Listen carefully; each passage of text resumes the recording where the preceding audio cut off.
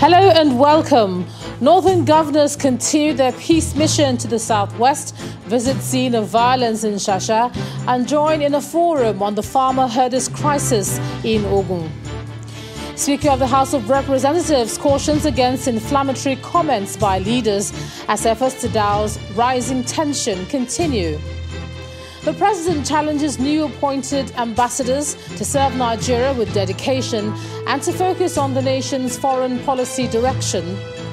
And Myanmar police slam country's deposed civilian leader Aung San Suu Kyi with second criminal charge as she makes virtual court appearance. Plus, we'll have sports, business, and later on international news from our London studios. On business news tonight, Nigeria's headline inflation rate climbs further to 16.5% in January as food prices hit highest level in 12 years. And on sports news tonight, world number one Novak Djokovic makes it through to his 39th Grand Slam semi-final after a four-set victory against Alexander Zverev at the Australian Open. And from Abuja, President Buhari writes Senate seeks confirmation of the Abdurrashid Maina, I beg your pardon, Abdurrashid Bawa as substantive chairman of the EFCC.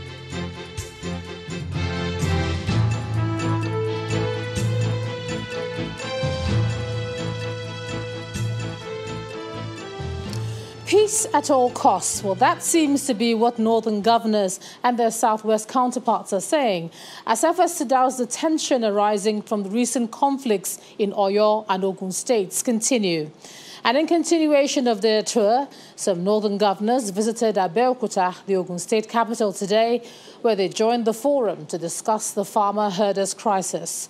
Traditional and religious rulers from Ogun and Ondo states, representatives of farmers and herders, as well as heads of security operatives in Ogun State were also part of the event.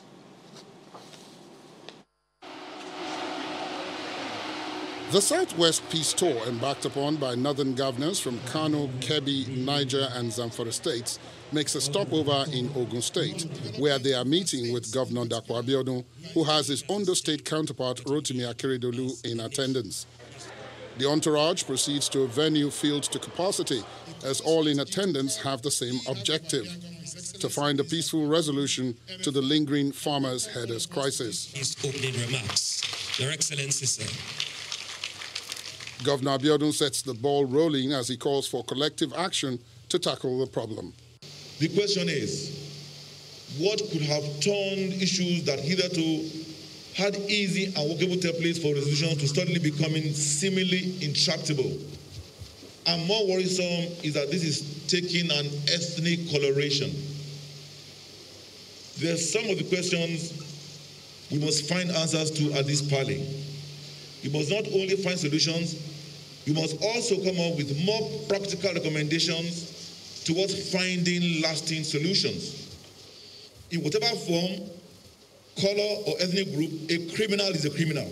Representatives of the farmers and herders bear their minds on how their sites have been affected and make suggestions they feel can help mitigate the problem. We have lost over 3 million cows to cattle rustlers, and before one personality is kidnapped either in the city or on the roadside, 10, 20, 30, 50 of them must have been kidnapped in the forest on daily basis. But because, but because it is not a reported story, it is unheard, people don't know it. We suffer, our members suffer more in the hand of criminals than any other citizen of this country. We need to profile and enumerate. Let us know who are actually here with us, who have been here with us, so that we will know if they are a stranger.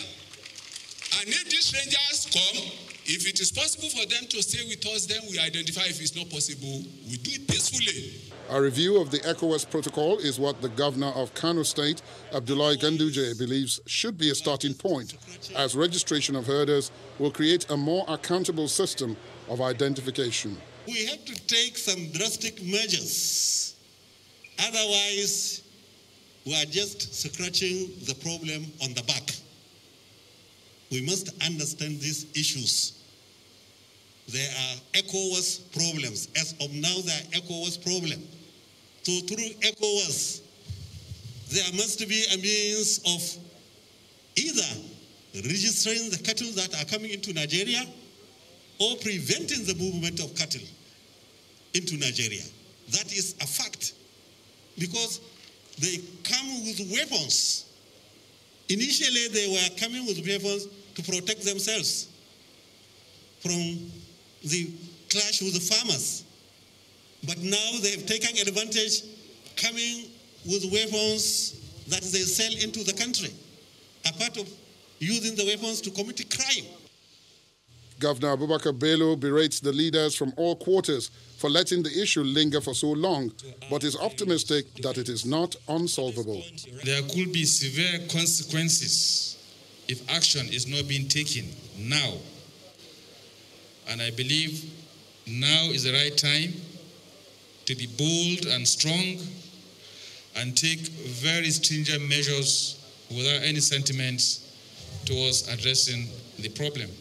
The issue of farmers and herdsmen has been there for long, but somehow it was being managed properly. But gradually, the herdsmen migrated from genuine herdsmen to criminality and banditry. Beyond this conference of words, the real action many hope to see is the actual process of reconciliation between all parties that will bring the crisis to an end once and for all. Before visiting Ogun, the northern governors were in Ibadan yesterday to meet with the state governor over the recent crisis at Shasha Market between northern and Yoruba leaders. The governors who joined Governor Seyi Makinde on a visit to the embattled Shasha community earlier today ended their consultations with the community leaders in the area where they appealed to both sides to embrace peace and to return to living harmoniously as they did before the crisis. Now, appealing to both sides to stop hostilities and forge a more formidable bond for peaceful coexistence, the governor of Kebbi State, Atiku Bagudu, and the governor, Governor Makinde, pledged their support for every effort towards restoring mutual trust, respect, and lasting peace. Yes, it may be painful. When uh, the uh, fire started and I was contacted, I said they should send uh, a fire truck here. The fire truck was uh, vandalized, damaged. So I told the people that, well, yes, it's annoying that uh, we have to use uh, money that we could have used for something else to replace those fire trucks, to rebuild all of these uh, places. But those ones are very minor when human life is lost, there's no way for us to replace it. We cannot make a, life. And that is something that is irreversible. So my message is that of peace. Once emotions are better and social media is instigating. Uh, unfortunately, we had the situation we had, which included loss of life, and we regretted and we sympathize with all those who lost their lives and property.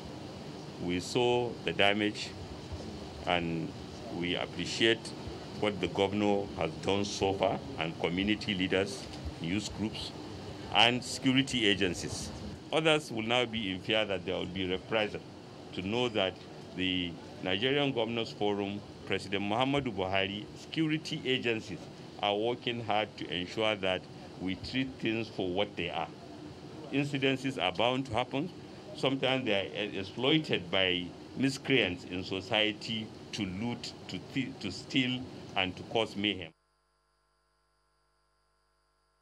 And staying with the violence in Shasha and across the country. The Speaker of the House of Representatives, Femi Gbajabiamila, is urging all those who have large followership and people who listen to them to respect their voices, to be more circumspect about the information they share, the language they use, and the conversations they engage in. According to him, words can have adverse consequences on the nation's peace and stability because words have the power to build and to destroy. Similarly, Honorable Dachung Bagos raised concerns about the governor of Bauchi State, Bala Mohammed, on his statement justifying why herdsmen should carry AK-47s. Once again, the issue of insecurity is a source of worry for lawmakers in the House of Representatives. What's even more worrying for them is that public officers who should be responsible for dousing the tension and maintaining the peace seem to be the ones fanning the flame. To address this, a motion of urgent public importance is raised, which is directed at state governors, specifically the governor of Bauchi State, Bala Mohammed, over his statement on the 13th of February justifying why herdsmen should bear arms. Aware that the Constitution does not grant any individual or group of people the right to bear sophisticated arms, but only a licensed sophisticated shooting range. Concerned further that if all public officials, regardless of their positions or status, are not cautioned against inciting or provoking the general public. Silence, please. Silence, please the already tense situation in the country will lead to open hostilities.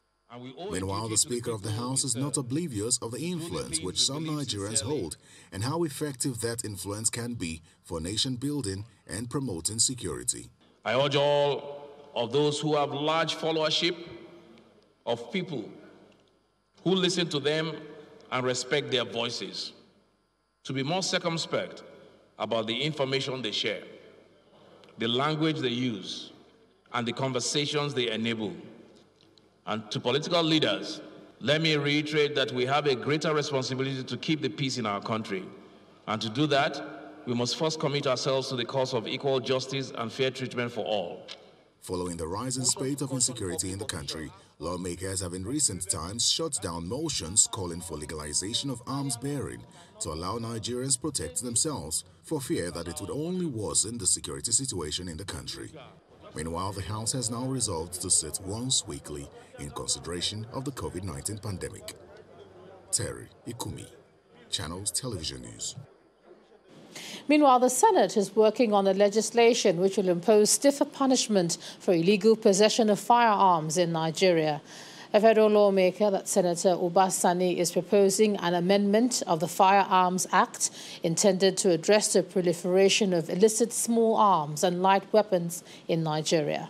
Our correspondent Linda Akhigbe reports. The proliferation of small arms and light weapons in Nigeria is a security and humanitarian issue as it worsens conflicts and results in high death tolls directly from their use. This has serious implications for the country's development.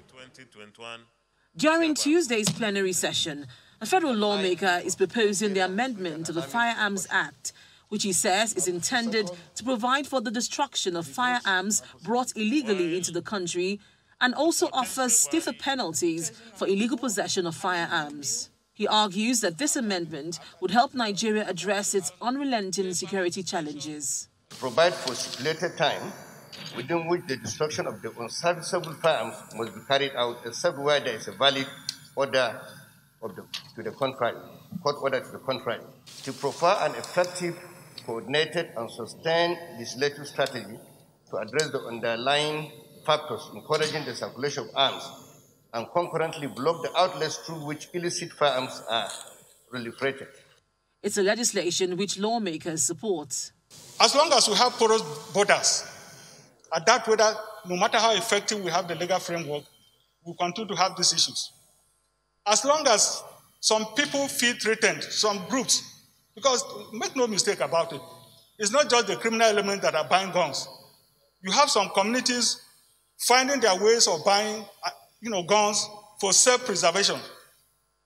Why? Because they think that the Nigerian state is not protecting them. So I support the bill, but I think we should in, in assenting, I mean, in assenting to uh, the passage of this bill, I want to draw, my, draw our attention to the fact that there are larger issues that attend or surround uh, the issues of insecurity that we have been agitating. And once again, this is another opportunity to bring it to the fore. There is no compromise for stiffer penalties for anyone caught with an illegal arm.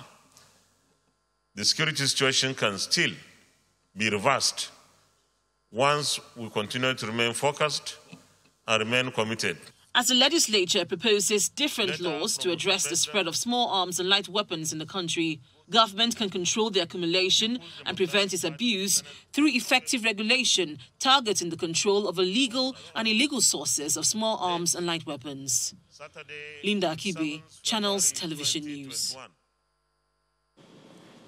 In part two, after the break, Federal High Court turns down application seeking to restrain Muhammad Adamu from parading himself as the Inspector General of Police. Plus, seven children feared killed in a blast in Zamfara. A similar explosion leaves seven others injured in Kaduna. That's all coming up in a moment. Please join us again.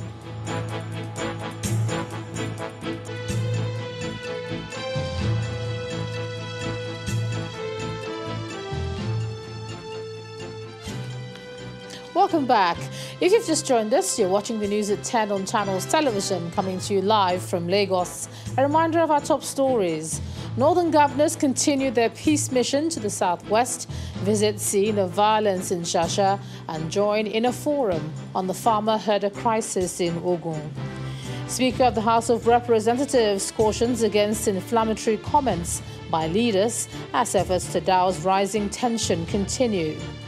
The president challenges newly appointed ambassadors to serve Nigeria with dedication and to focus on the nation's foreign policy direction. And Myanmar police slammed the country's deposed civilian leader Aung San Suu Kyi with second criminal charge as she makes virtual court appearance.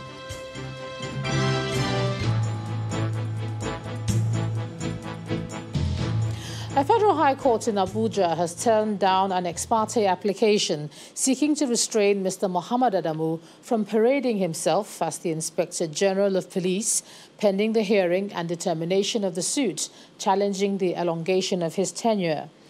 Justice Ahmed Mohammed held that since parties have been served with the originating processes, it will be unfair to grant an interim injunction against the IG. In a suit filed by an Abuja based lawyer against President Muhammadu Buhari, the Inspector General of Police, Muhammad Adamu, the Attorney General of the Federation, Abubakar Malami, and the Nigerian Police Council, the applicant argued that Mr. Adamu's tenure as the Inspector General of Police elapsed since February the 1st, 2021, by virtue of the Police Act.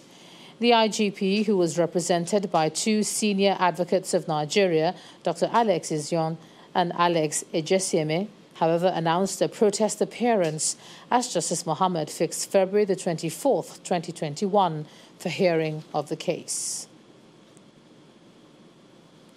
Let's stay in the courts now. And the Federal High Court sitting in Lagos has upheld an interim order granted to the Asset Management Corporation of Nigeria for the seizure of properties belonging to businessman Jimoh Ibrahim for an alleged 69.4 billion naira debt. In a ruling which lasted nearly two hours, Justice Rilwan Aikawa upheld the argument of AMCON's lawyer, Kemi Pinheiro, that AMCON made full and substantial disclosure of all material facts at the time of obtaining the orders on November the 4th, 2020. The judge ruled that the order subsists. The businessman, Mr. Ibrahim, who is also a legal practitioner, was in court, fully robed for the proceedings. Alongside NICON Investment Limited and Global Fleet Oil and Gas Limited, Mr. Ibrahim had asked the court to set aside the order for non disclosure and misrepresentation of material facts.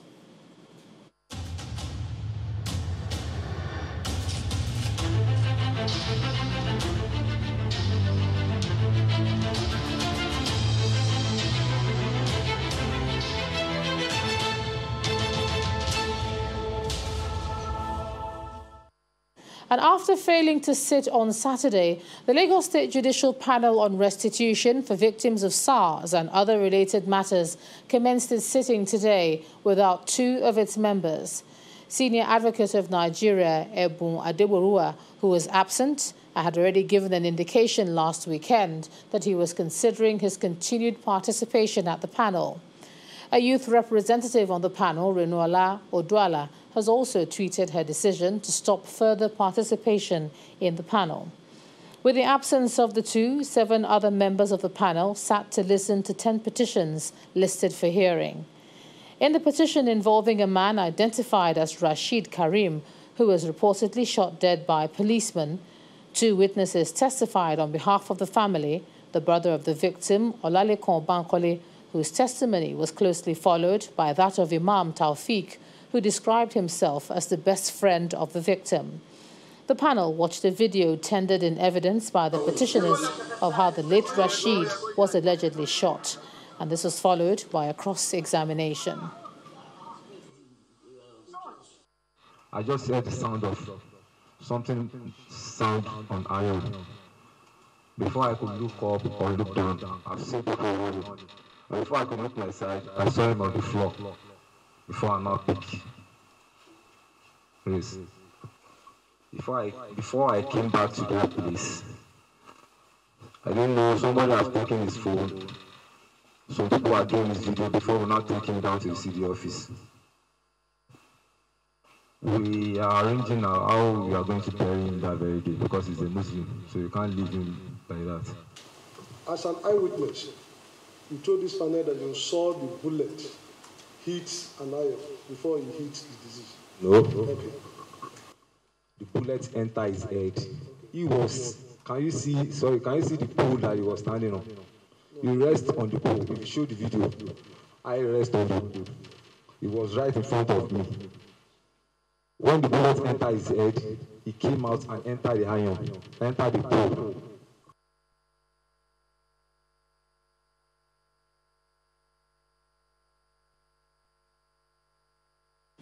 Meanwhile, rehabilitation work is ongoing at the Lekki toll gate days after the order for the Lekki Concession Company to repossess the facility and subsequent protests against the decision. Channels Television revisited the site and observed the presence of policemen. The van of the Lagos State Task Force is still on standby as the work gets underway. The firm regained possession of the toll gate following a February the 6th ruling of the Lagos State Judicial Panel of Inquiry for restitution of victims of police brutality and the Lagos Tollgate incident of October the 20th.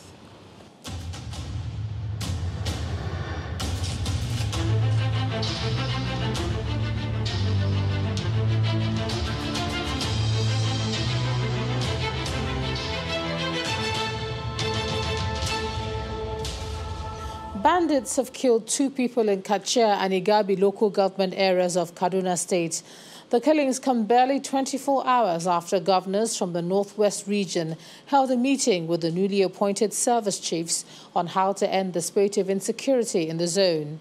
Confirming the incident, the Kaduna State Commissioner for Internal Security and Home Affairs, Samuel Aruwan, says the bandits attacked Akwando village in Kachia local government area and killed one Diko Bagudu, a resident of the community. In a separate incident, armed bandits barricaded the road from Sabon to Rikau and Igabi local government area and killed one Ibrahim Abdul Mumin, a resident of Rikau village. Meanwhile, security agencies have reported the accidental detonation of a substance at the residence of Inigabi local government area. According to the report, children picked up the material from a nearby farm and began to play with it, not knowing what it was. In the process, it exploded, injuring seven of the children. In a similar incident, but this time in Zamfara state, seven other children were not so lucky as they are feared dead following an explosion in Magami village in that local government area. The Commissioner for Security and Home Affairs in the state, Abubakar Dauran, told Channels Television that the blast occurred while the children were searching for firewood in the bush when they picked up an explosive device. He said the material exploded as the children were playing with it, killing six of them instantly and leaving the others with various degrees of injury. The injured is said to have been moved to a hospital in Gusau, the state capital, where the seventh person reportedly died. Let's cross over to Abuja now. Here's Terry Ikumi. Terry, sad one. Well, welcome to the nation's capital. The president is challenging newly appointed ambassadors to go out and serve Nigeria with utmost dedication and pride. President Buhari said this during the induction of the envoys in the nation's capital, Abuja, which he joined virtually. There are 94 ambassadors, 43 of them are career ambassadors, while the remaining 51 are political ambassadors, 12 of them consuls general, and four chargés d'affaires. The president says the federal government has identified nine priority areas to guide its foreign policy, urging the ambassadors to be guided also by them. The Muhammadu Buhari Conference Center at the National Intelligence Agency, Abuja, is the venue for the induction, and the newly appointed envoys are said to be inducted. I congratulate you all. President Muhammadu Buhari joins the meeting virtually from the council chamber at the villa. He commends the envoys for accepting to serve their fatherland, but is quick to remind them of their responsibilities.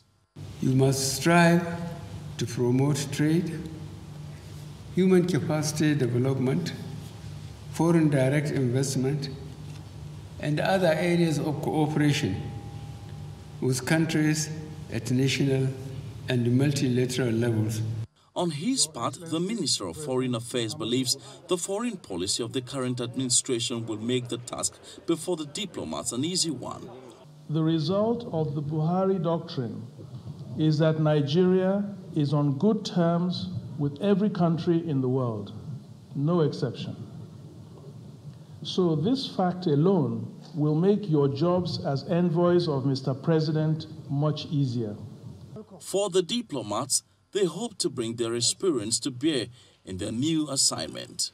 I strongly believe that uh, on the issue of vaccines and other issues relating to vaccination, uh, the bilateral relationship between UK and Nigeria will be explored to ensure that Nigeria benefits from vaccination in the UK. Well, the mission is always open to having Nigerians express what they are facing as challenges. And so that's going to be always ongoing. The three-day induction and orientation course is expected to equip the new envoys with relevant information and skills that would enable them carry out their responsibilities effectively there is no doubt that they have a lot to grapple with in coming days, ranging from uh, Nigeria's bilateral relationship in the area of trade, security, and most importantly, at this critical time that the world is faced with the COVID 19 pandemic. From the Muhammadu Buhari Conference Center at the National Intelligence Agency, Emperor Simon, Channels Television News. When the news at 10 returns, Nigeria's headline inflation rate climbs further to 16.5% in January as food prices hit highest level in 12 years. That's on Business News. Stay with us.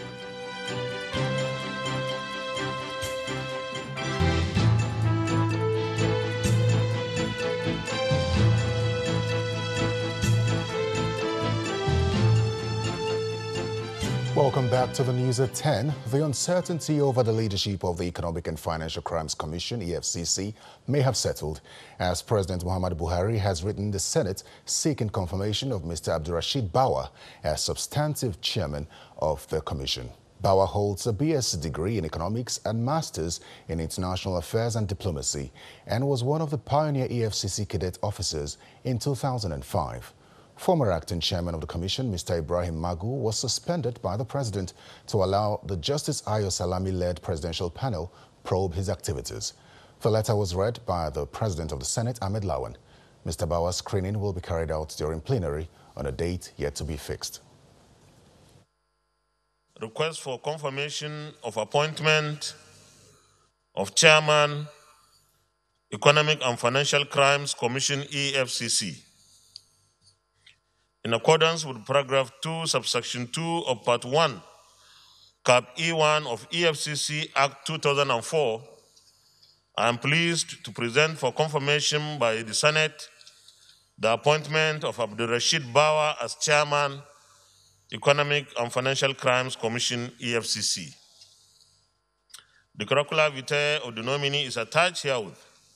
While I trust that the distinguished Senate will consider this request in the usual expeditious manner, Please accept, distinguished Senate President, the assurances of my highest consideration, yours sincerely, Muhammadu Buhari.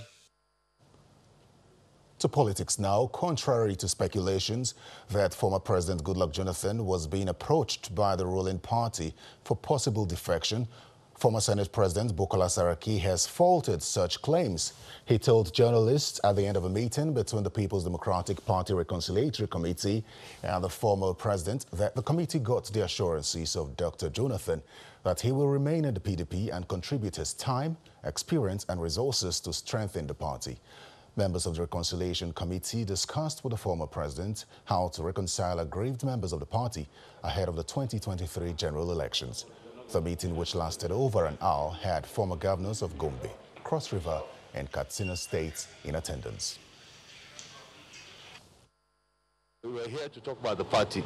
We talk about what role we can all play in reconciliation of different parts of the party, what role people like former president like himself can play, and he left us feeling very happy that, yes, he wants to play that role in, in PDP and in uniting the party and helping us, this our committee, to move forward.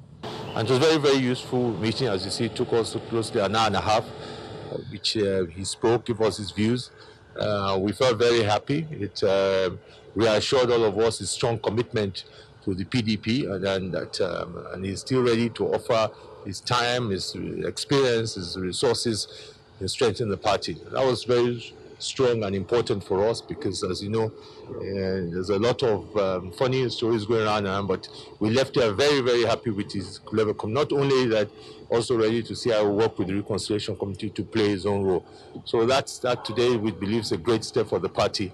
And we'll put that behind us all all those of the other parties that keep on like to come and disturb our leaders. So our leaders have no uh, here and we're working for this great party. Well, that's it from Abuja. Back to you, Ijoma. Thanks a lot, Terry.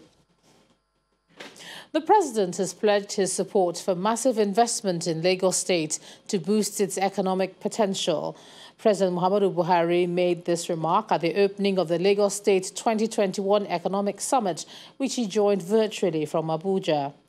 Also at the event, the Director General of the World Trade Organization, Dr. Ngozi Okonjo-Iweala, asked the state government to produce an conducive environment for business inclusion and economic growth. Our correspondent Titilayo Aberowu reports.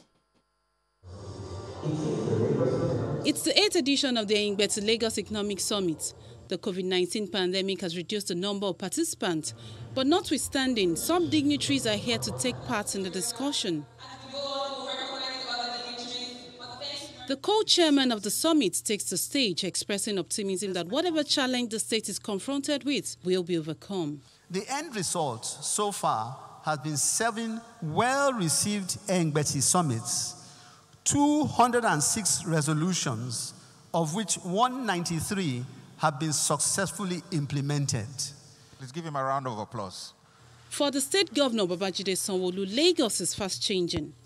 The smart city that is unfolding will also be home to a network of intelligent cameras that will support not only security and policing across the state, but will also ensure that our traffic management and data connection and collection for urban planning is next to none approved in 20. President Muhammadu Buhari, who joined virtually, commends the Lagos state government in tackling the COVID 19 pandemic and promises more support for Lagos in its developmental quest. The challenges of Lagos must therefore be very clearly seen as part of the challenges of Nigeria. And the federal government will support Lagos to overcome the challenges and to thrive socially and economically. Other guest speakers call for a new Nigeria that will be people oriented in order to have a secure nation. If you focus on really delivering the basic service, services to the citizen of Lagos to enable young people to thrive, to, to, to build businesses, how can we improve the, the, the life of our citizens in Lagos? It's time to create youth based wealth in Lagos. The past must yield to the present, the old to the new. The dominant phrase should not be, well, the young shall grow. It must be, the young have arrived. Not only must there be a generational shift, there must be a wealth shift by unlocking the potential of the youth. The newly appointed Director General of the World Trade Organization, Dr. Ngozi Okonjo-Iweala, also joins virtually, saying job creation should be the focus of the government to reduce criminality. When you have 60% or more of your population that is uh, 30 years uh, old and younger, then you have to worry about job creation. So for me, a successful Africa is an Africa that is able to create jobs uh, for its citizens. And when I say jobs, I mean what I would call uh, decent work. Making Lagos the 21st century is a collective exercise, and the Lagos state government is calling on all concerned to help achieve the big dream of a new Lagos. Titi Layo, Haberewu, Channels Television News. The National Drug Law Enforcement Agency has intercepted two suspected fake military officers in a new VIP edition of a Toyota Jeep loaded with 394 compressed parcels of illicit drugs concealed in different parts of the vehicle. According to the commander, Kogi State Command of the Anti-Drug Agency, Mr. Adeumi Alfred, the suspected fake military officers, Muhammad Noura and Abubakar Dahiru, were intercepted by operatives of the Kogi State Command of the NDLEA along Okene Lokoja Expressway on Monday, February the 15th, 2021. Mr. Alfred says when the vehicle was subjected to a thorough search, 394 compressed blocks of cannabis sativa were discovered in different compartments of the vehicle. According to him, initial investigations have revealed that the consignment was taken from Lagos and was heading to Kano for delivery. He added that the vehicle has been impounded, the illicit drugs seized, and the suspects detained for further investigations. From there, let's take a look at some business news for the day. Here's Anne Waudu.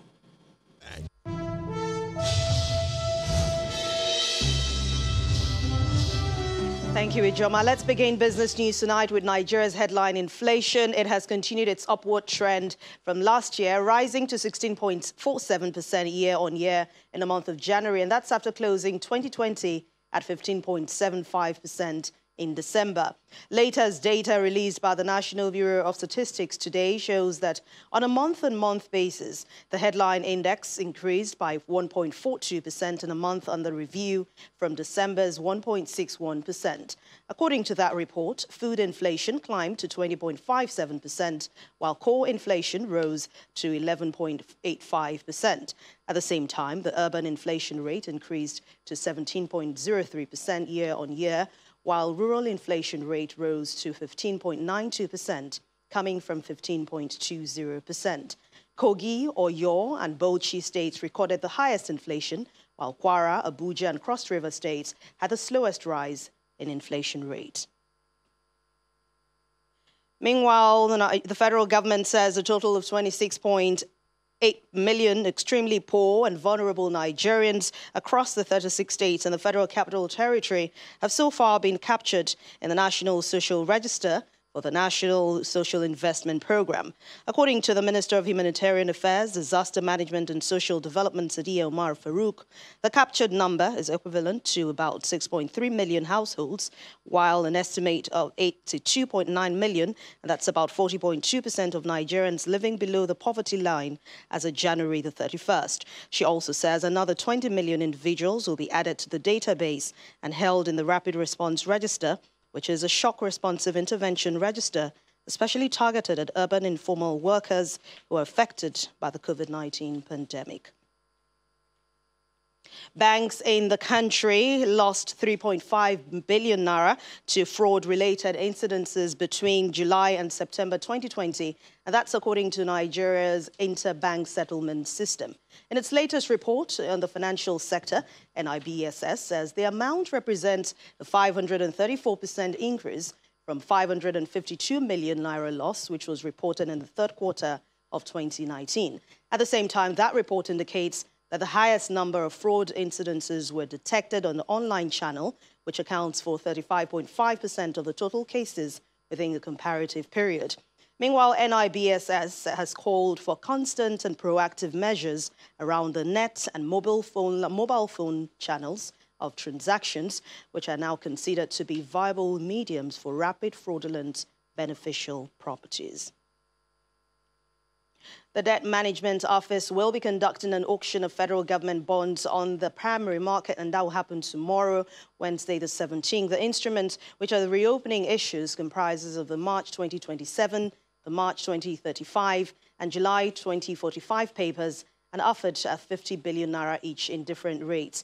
Meanwhile, a total of 150 billion naira is expected to be released from the bonds, which used to meet its fiscal responsibilities of the government. And let's head to the equities market. It has failed to sustain the moderate rebound recorded yesterday. Investors are still resuming profit taking on some key equities, and of course, an increase in the volume of transactions. Ini John Mekwa has the details.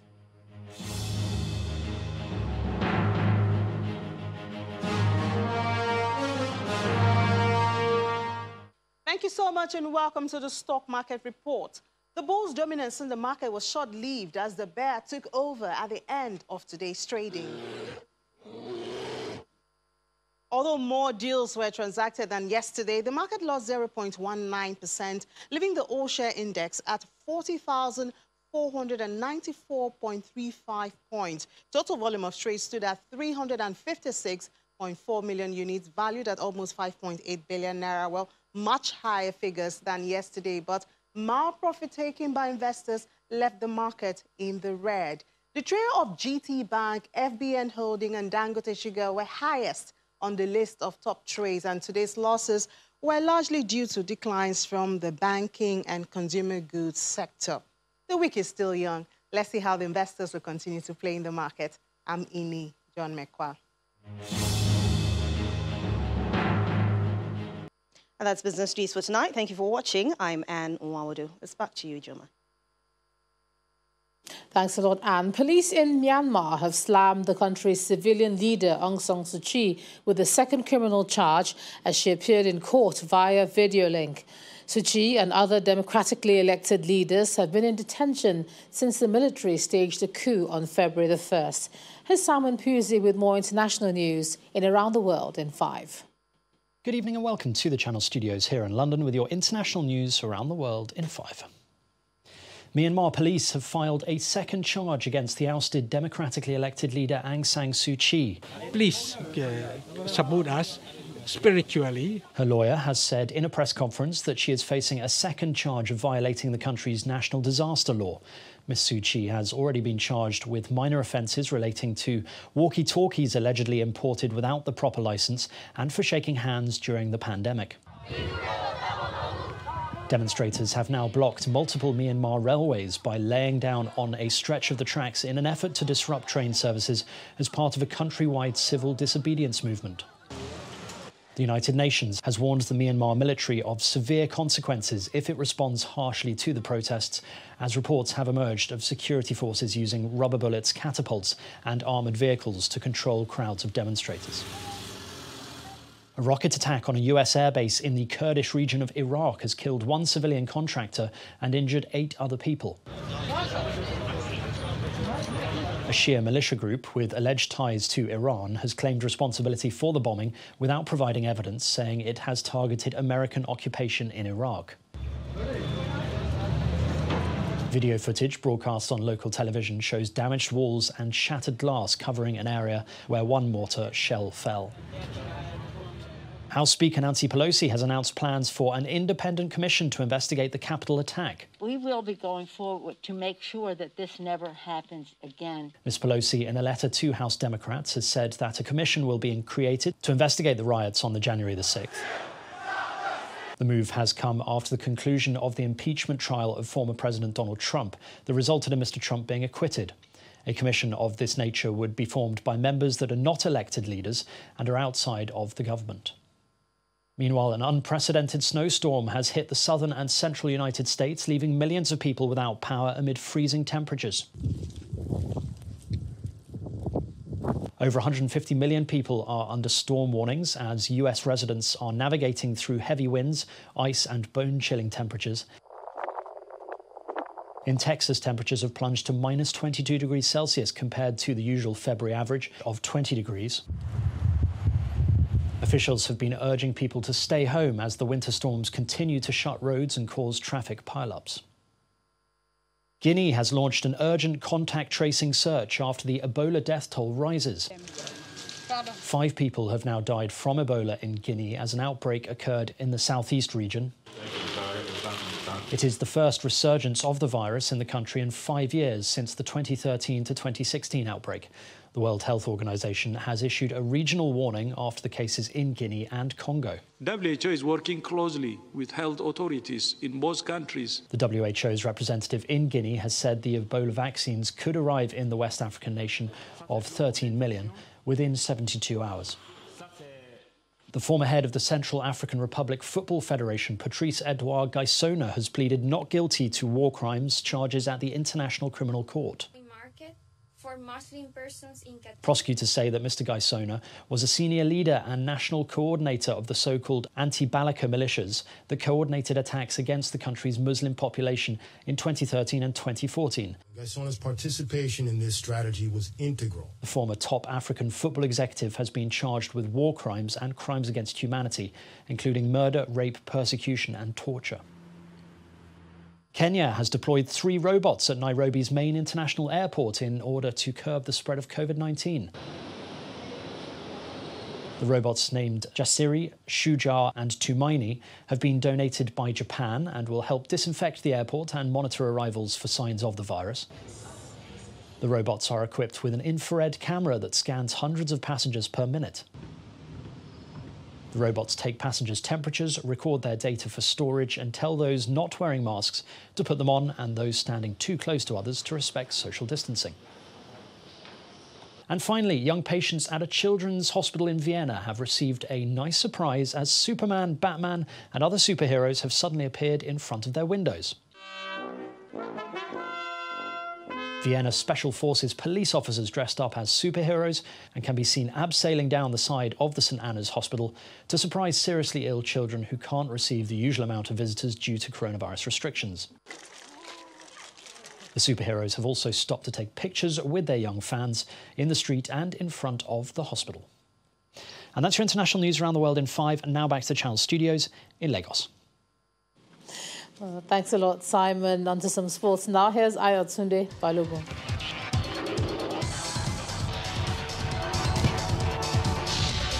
Many thanks, Ijoma. Reigning African champions, the Super Falcons of Nigeria, will begin their campaign at the fifth edition of the Turkish Women's Cup on Thursday when they face CSKA Moscow Women's Football Club in Antalya.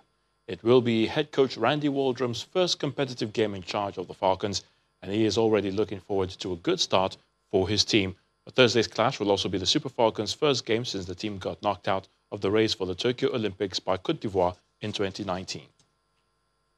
In the UEFA Champions League, French League 1 side PSG Paris Saint-Germain stunned FC Barcelona in the round of 16's first leg match played at the Camp Nou. Barca took the lead with a goal from Lionel Messi after a penalty was awarded. However, a hat-trick from France forward Kylian Mbappe and a goal from Moise Kean ensured victory for PSG. Liverpool put their troubles in the Premier League behind them to beat RB Leipzig at the Puskás Arena in Budapest, Hungary. Mo Salah and Sadio Mane were both on the score sheet. And that sports news is back to you, Joma, for the wrap.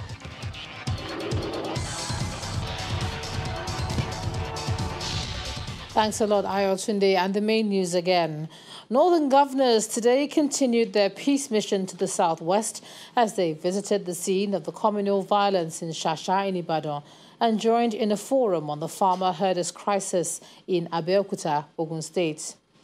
Also today, the Speaker of the House of Representatives cautioned against inflammatory comments by leaders in the country as efforts to douse rising tension continue. That's the news at 10 tonight. Thank you so much for staying with us. I'm Ijoma Onyato. Do have a good night.